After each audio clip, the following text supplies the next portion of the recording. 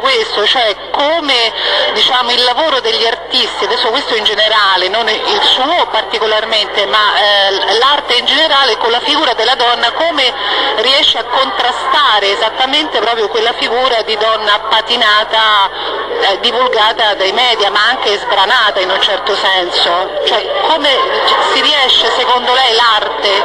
L'arte lo può fare senz'altro, purché come al solito ci sia di fondo eh, la, la, qualità, la parola chiave nell'ambito eh, della pittura, mm, e, e, qui esuliamo un po' dal tema, però è importante fare un paio di considerazioni.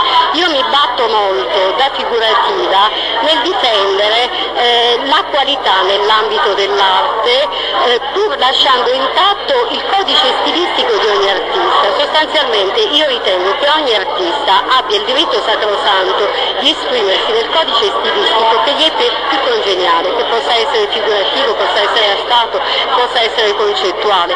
La cosa fondamentale nell'ambito di qualsiasi declinazione artistica è la qualità e gli interlocutori lo sentono, lo avvertono. Anche se l'immagine diciamo, risulta forte allo spettatore? Ma, eh, non ha, non ha, allora, eh, si, diciamo che qui andiamo a toccare un altro tema che è stato in qualche modo inquinato da certa cultura accademica, cioè si pensa spesso che eh, la bella arte debba ritrarre belle cose, non è così, non è così.